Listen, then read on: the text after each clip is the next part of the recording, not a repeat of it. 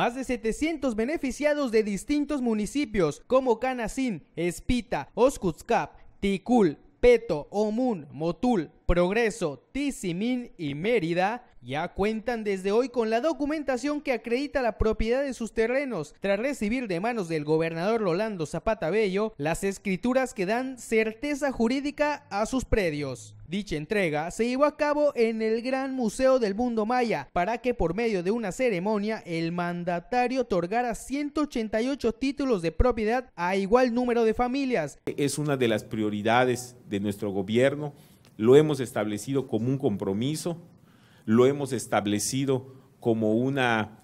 eh, un compromiso expreso, pero uno de los objetivos también de nuestro plan de gobierno, hacer un proceso permanente de regularización de predios en diferentes municipios. No es una tarea sencilla, es una tarea que implica mucha dedicación y por eso reconozco y agradezco el apoyo de los ayuntamientos, el apoyo de la participación de los ayuntamientos, de las propias instancias del gobierno federal, de todos quienes hacemos un gran equipo para que hoy ustedes puedan tener este título de propiedad, puedan tener en sus manos este documento que acredita que ese terreno, que ese predio donde ustedes han vivido o tienen la posesión desde hace 10, 15, 20, 30 años o más, ahora sí,